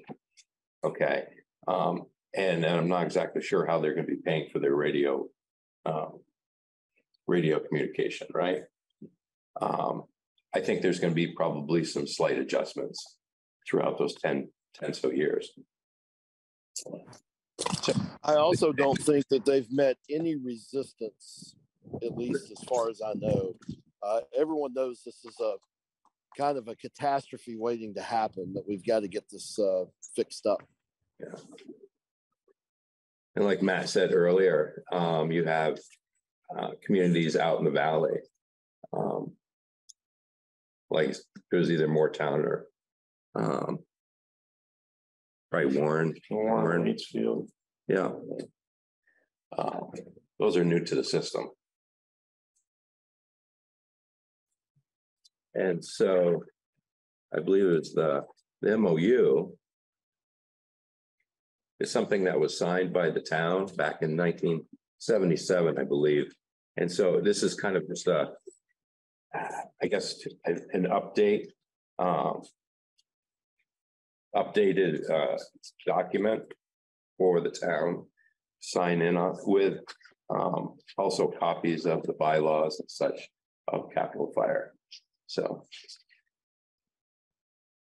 So I have a, a question about the equalized municipal grand list formula. So we're getting um, both our, our grand list and our and our call volume. Is that what Matt said? Yeah, so um, obviously Berlin's population is much lower than Barre City and uh, and we're, so we're paying the same because of the grand list. grand list and volume of calls.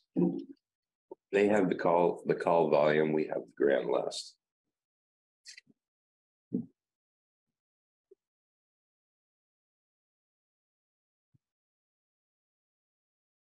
So I guess my next question is, how is this, if, if we were to do it in a lump sum payment, uh, would that go toward the fire department budget, looking like the fire department budget was going up sixty-five thousand? Or the capital budget, which it seems like we hide a lot, and I'm not, I'm, I'm pro fire department, so I'm not saying, but it seems like we hide a lot of police department, fire department town vehicles and we throw it in the capital budget and it looks like our police budget is much lower, even though we spent a ton in the capital budget on the police department or the fire department, maybe. Uh, where is it coming out of and where will it be found in the budget? Again, I, I'm gonna recommend the ARPA funds, right? Um, that. If, if we use the ARPA funds for the ten years, That's six thousand dollars we don't have to put in the budget over the next ten years, every year. That, that's the way I'm looking at it. So it would come out of ARPA. You can classify it as a capital expenditure.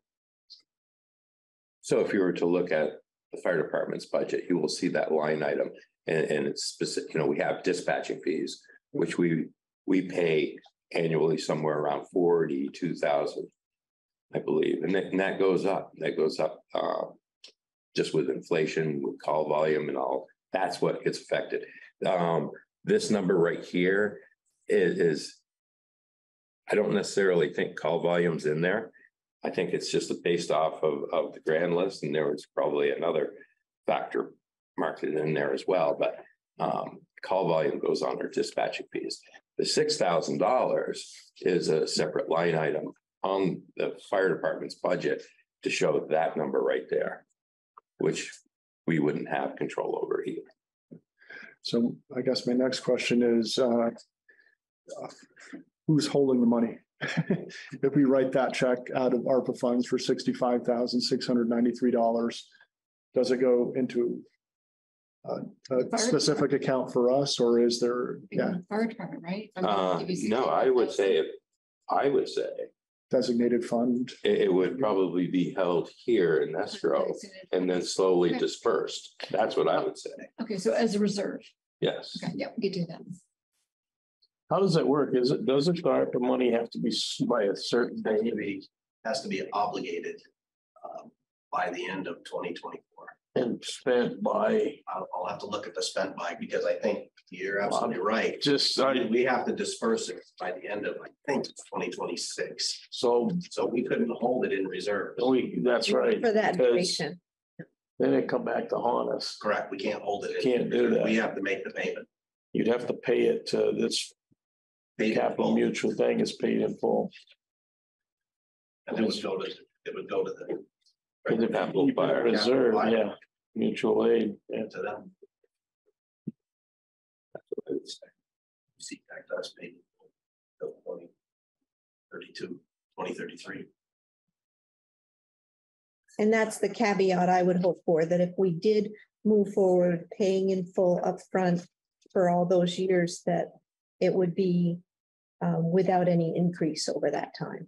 And that- I think Dependent that's on what discussion happens with other John's towns. with Paul, right? Correct. Make sure that, Mhm. I think that that would just be a wise thing, because it's a huge investment and it's, it- it's good investment. Um, no doubt in my mind.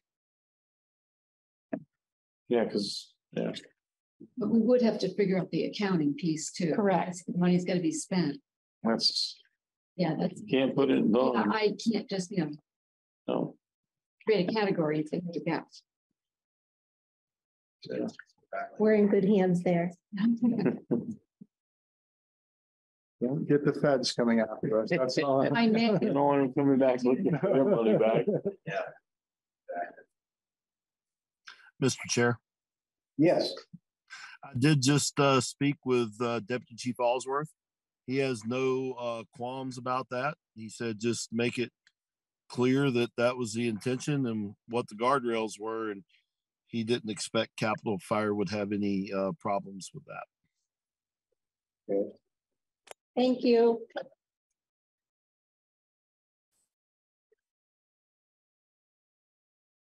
So I guess a motion on this to, uh, for the capital fire request for approval. I make the motion to accept the capital fire request for approval from the town of Berlin in the amount of sixty-five thousand, six hundred and ninety-three dollars for ten years total to be kept at that cost, paid upfront through ARPA funds dependent on research that Vince will do on our behalf.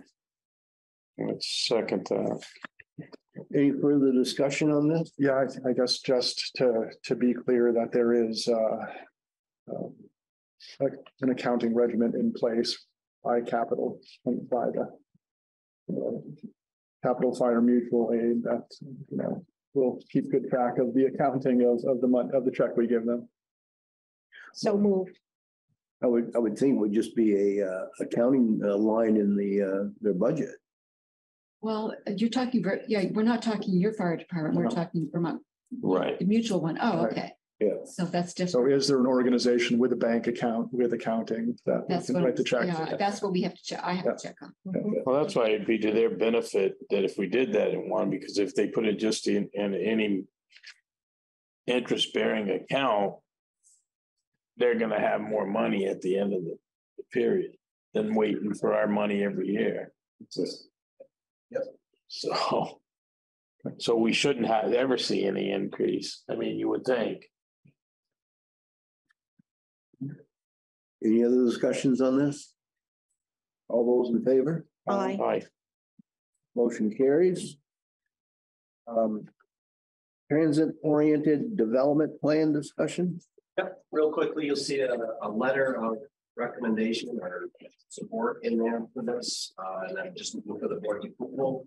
They're to carry that forward if they agree, and a description of the, uh, of what that transit-oriented development is, and looks like in the, in the package.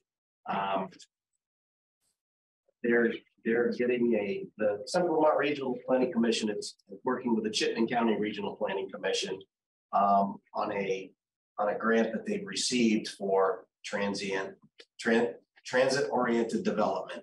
Um, basically, and I, I won't read all this, uh, to you. Um, but they're looking for municipalities that might be interested in sharing some of that grant money.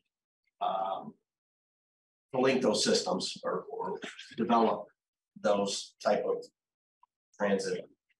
Transit, struggle with that word tonight.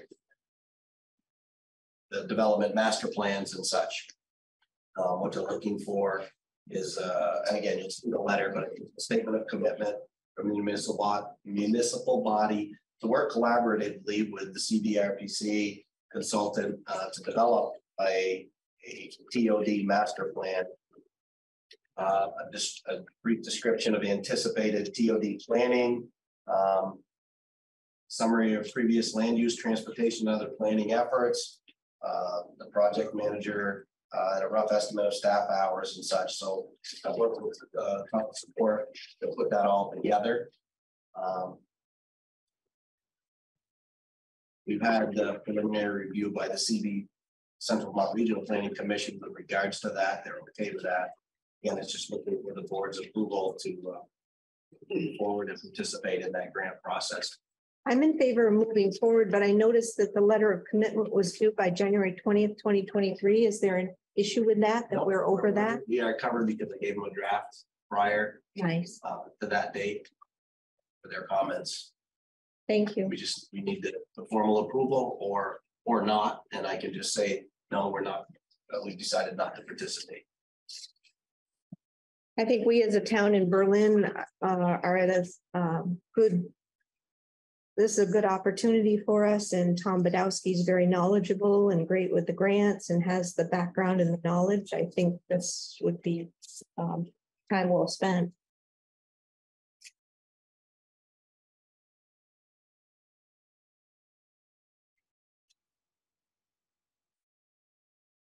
So will there be a discussion of, uh, uh,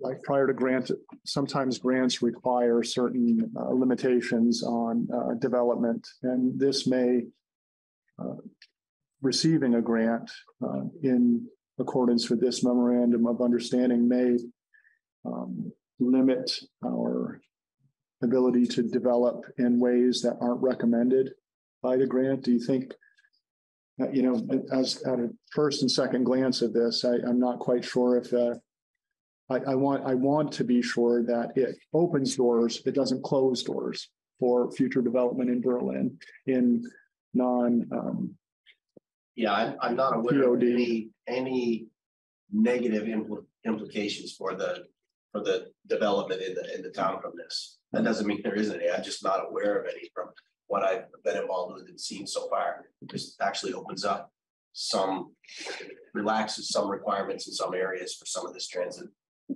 And it sounds to me as if it opens up um, collaboration. The paragraph on the last page, page four, the CCRPC will procure consultants to develop the TOD master plans and bylaw development regulations. CCRPC will work with the CVRPC and each participating municipality to best match consultants with your local needs. Yeah, and this is, this is more towards the planning end of things or the communities that are involved with that, you know, to link and develop um, a strategy and a plan for this, for the tr- improved transit ideas and systems, including rail. Rail is, rail is a big one on here, rail, bus, bike. Um, a lot of those things are are gonna be looked at in my understanding in this plan. Would there be any work prior to early twenty twenty-four? Based on what this outlined? Uh, not that I'm aware of.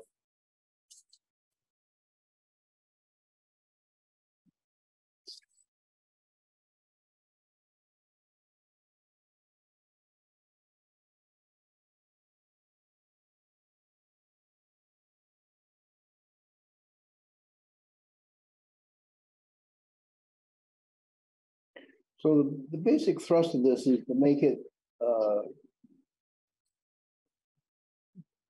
Walkable between communities and everything else. Or public transit. Yeah. Public transit. Mhm, Improve bus Not only accessible, but you know, the rail, they're looking at rail. commuter rail. at, uh, Pedestrian, like, an overall plan to connect communities. I got you. Mhm. And there are two ways to do it, and that's what, that's what I was getting at. One is to be more flexible to allow development in such a way that connects public transportation. And the second is to disallow things that don't fit into the uh, good TOD um, Mhm. type of development. So I'm very much for opening to allow that. I'm very much against preventing non-TOD development uh, on, on private, private land and, and private. And I think, I think the crux of this is not more about implementation and building, but about the planning of where and, and when and how and Mhm. what, really Mhm. more about the what. It's- Mhm. Okay, Uh, a motion on this? I make the motion to, to move forward with the transit-oriented development plan as presented um, to us this evening. Here a second? Second that. Any other discussion on this? Hearing none, those in favor? Aye. Um, Motion carries. Um, liquor license approval for Shaw's? Uh, again, board's permission to interject here, we, we've had a couple more come in. Um, this event was put out for the Price Chopper and for Jolly as well. Also, just to make the board aware, um, in July of last year, it's, the, the state has changed the rules, it's not just the licenses now as well, it's tobacco. As well, so you'll see those in the package as well. You won't see these, these are the new ones that did come in actually today. Um, that I wanted to get in there, and these are all for Jolly, as mentioned, so. And there's also tobacco substitute, which is the, the vaping, so those are.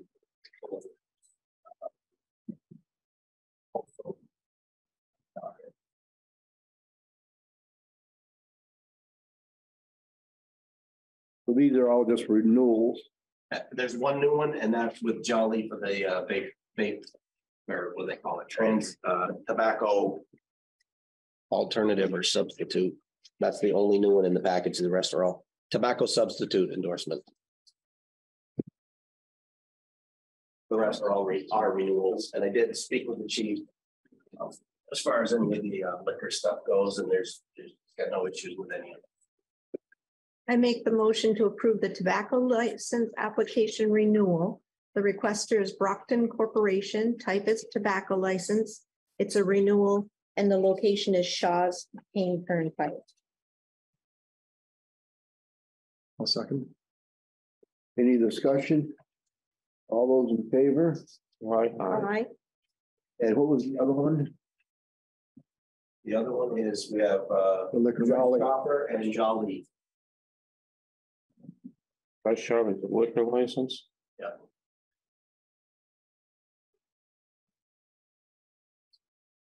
Here, a Oh, and tobacco, right? I make the motion to approve the Price Chopper Operating Company of Vermont Inc. Second class light liquor license. It's a renewal. Location is Price Chopper. I'll second. Any further discussion? Those in favor? All right. Aye.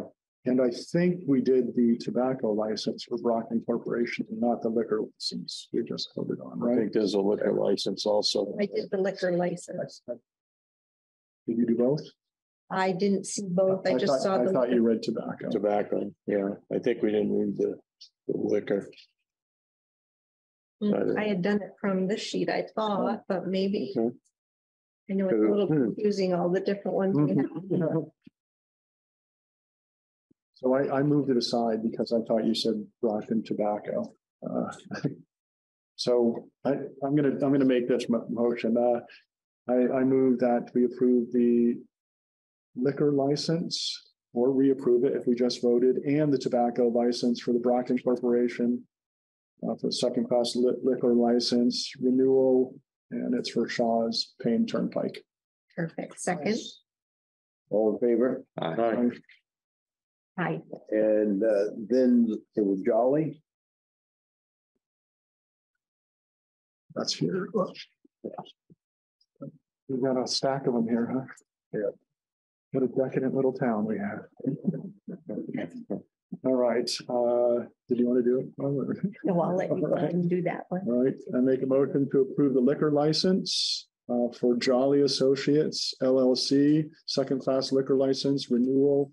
And that's for Jolly on River Street, Montpelier, ten ninety-seven US three oh two in Berlin. Second, Is there anything about uh tobacco with Yep, Helen? and a tobacco for the same, Jolly Associates LLC renewal. And what's the other one? One more there. And uh new for River Street Montpelier for vaping products. All from Jolly. Yep. I take it your motion is all inclusive. It it is. second. Second, Any further discussion? Hearing none, those in favor? Aye. aye. And it looks as if on the uh price chopper, that was for both too as well, second class liquor license and tobacco. So I'd make a motion to approve both the second class liquor license for renewal and the tobacco license for renewal. Here a second? Second. All those in favor? Aye. Motion carries. I can I move that together? Sure, I Vince. missed one item when we were talking about grants and things as well. I do have one more for, um, for grants, resolution for the Better Connections Grant. And what we're doing, or I should say, give Tom the credit, what Tom's doing, is applying for two grants, one of which we'll only get. Potentially, if we get any. And again, even if we get it, doesn't mean we have to execute it. And this is a resolution that's required, uh, for the grant. And it's, uh. Let you read the resolution. It's probably easier than me trying to, and that one will need to be signed if the board approves it. Um, and along with that is the information.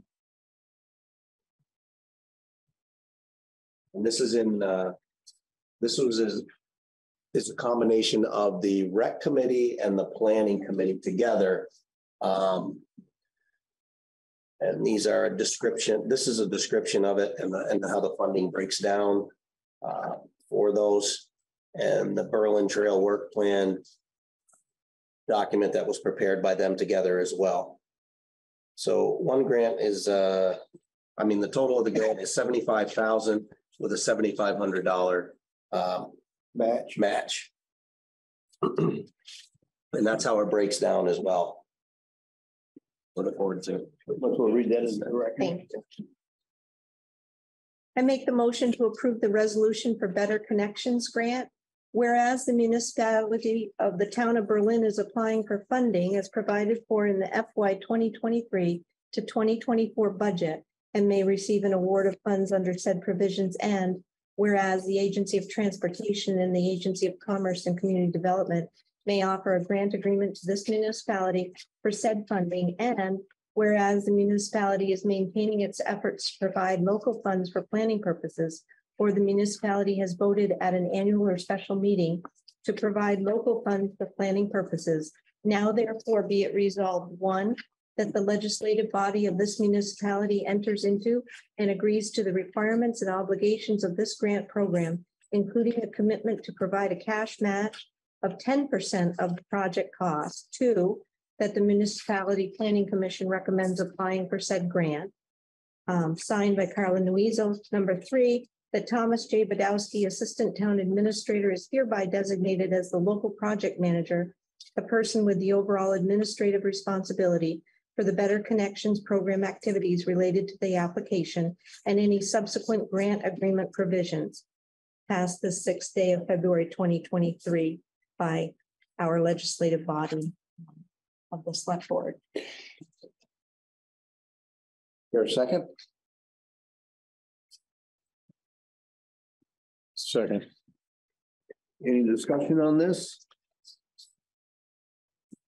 All those in favor? Aye. Aye. Motion carries. Um, Thank you. I've got stuff in my hand. Thank you, Dan. yeah, approval of licenses, permits, vouchers, and applications, payroll warrants. I make the motion to approve the payroll warrant twenty-three sixteen for payroll from January fifteenth, twenty twenty-three to January twenty-eighth, twenty twenty-three, paid on February first, twenty twenty-three in the amount of sixty-four thousand eight hundred eighty-five dollars and fifty cents. Payable warrant two-three G one-four with check two-two-six-five-two to two-two-seven-oh-three for payables in the amount of hundred and fifty-seven thousand nine hundred and forty-one dollars and sixty-five cents, the January twenty twenty-three general journal entries and the January reconciled bank statements for the general fund and sewer water divisions. Here a second? I'll second. Any discussion? All those in favor? Aye. Motion carries. Uh, Approval of January sixteenth, twenty twenty-three minutes. I'm gonna pass on this only because I haven't had a chance to read them in uh their entirety.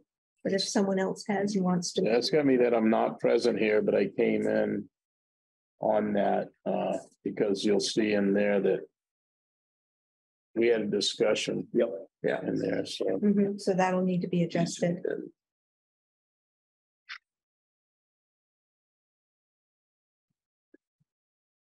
Make a motion to approve the minutes from January sixteenth, twenty twenty-three with the uh, removal, removal of the not and not present by David Sawyer. Any, here a second? I'll second it. Any discussion on this? If not, all those in favor? Aye. Aye. Motion carries. Um. Roundtable. Flo, I don't have anything this evening. Joe? Thank you. Um. I'm good, thank you. good, uh, Carol, Nope, nothing for me. Dave, No, Don't have anything. Vince, Surprise. Couple of things. Um. Local options tax. Um. I Have the opportunity to talk with Raylene from. Help me remember earlier. I did, didn't I? Down in Barre, uh, they, uh. Mr. Green that does the podcasts and, and, and such. Aired out, Does- Aired out. aired out, Does some marketing. came back to me. Um, she was kind of, she did a lot of marketing for, for Barre, uh, this year for their local options tax or their, the last voting period. Um, throughout the year, worked with them, developed a program, did the marketing and it passed first time. Uh, I reached out to see if they'd be interested in working with us between now and the next voting period for something similar. Um, if we could leverage what they did in Barre here in Berlin. Um, they're willing to do that. Um, what they did was they did certain campaigns each quarter. Uh, and it, and she gave me an estimated cost of about seven hundred dollars per quarter. Um, to work with us to help roll it out and market that, that program similar to what they did in Barre. Um, I told her I would, uh, ask the board tonight for some. Uh, either approval to move forward in discussions with that, um, and develop the plan to share with the board or not. So that's, that's my request. Um, is that something that the board sees a benefit in to move forward with and, and use them uh, to help market this and, get- and get the information out there? They're even willing to, uh, maybe have a board member come down, Joe, um, to talk about it, the benefits of the town and one of their podcasts and so on. You, you've got a face for radio, Joe, what can I say? Um, Podcast is not radio. Well, It can't, Um, doesn't have that's to. true. Uh, but, um, so that, that's one of my roundtable items is that. Uh, the second one is, is probably a little more simple. Uh, the next meeting for, on a Monday is the twentieth at the holiday. Just like the board's okay if they agree to move it to the Tuesday, the twenty-first. Uh, on that one, if they think that's okay. And then, uh, we'll be going into an executive session for a contract discussion after the roundtable. Uh, so I, I have a question about Tuesdays. the pod, uh, the marketing, is the marketing on the aired out podcast? Is that specifically what it is that? Uh, no, they, they, well, no, they, they do some other things as well, and that's, that's what I need to. To talk to her about, see what they did, uh, look at what they did for Barre. Um, you know, they did some surveys, uh, they did some, uh. uh, They put out some information in a number of different ways, and I, I don't have all the details yet. Um, but that's what I'm entertaining, uh, with the board's permission to see what that looked like. Um, and to see, uh, at that point, if we want to bring her in for a full presentation of what we're gonna get for the seven hundred dollars a month. Um, after we do a preliminary look at it, see if it's worth moving forward with or not. I would be in favor of seeing a package that they can provide us and, and how they would approach it, et cetera, so that we could review it. Seven hundred a quarter, did you say? A quarter, Seven hundred a quarter, Quarter. because you just said seven hundred a month, and I'm, sorry, uh, quarter. I Quarter. misspoke. It's a Oh. quarter. That's the rough estimate, right, until we have. I think there's nothing wrong with having her come in and, and presenting something. Mhm. Um, I mean, I'll watch some of his podcasts and, and they do focus a lot on Barre City. So I think that's, that's why it probably worked so well. Sure. Um, That, that's kind of part of the questions that I've asked though, so, because I, you know, they're good with Barre City, but how, how do you envision getting the information out to, to Berlin residents in a Mhm. similar manner, right? Mhm. Those are, those are the things that need to be discussed with her to see what that plan looks like. But I- again, if the board doesn't think it's worthwhile, then it, it stops here. If they do, then I will work with her over the next couple of weeks to have something ready uh, to bring back to the board to the next meeting. So that we can move forward maybe after town meeting on it if it's worthwhile. you know, links to those podcasts can be easily put on websites. Mhm. He's got a good listener base throughout He central. Vermont anyways, because of his, you know, with Froggy and all that, all the years he spent doing that, so. Mhm. Mhm. It's, he's got a good listener base in Mhm. central Vermont. Anything else, Vince, for? That, that's, I'll be quiet for a few more minutes. I'm Okay. fine with February twenty-first as well, but I don't know that it works for everyone. It's better for me. I may or may not have skipped the meeting on the twentieth to go to my son's basketball game, so. Okay, um, motion to go into executive session, So moved. Second. all in favor? Right?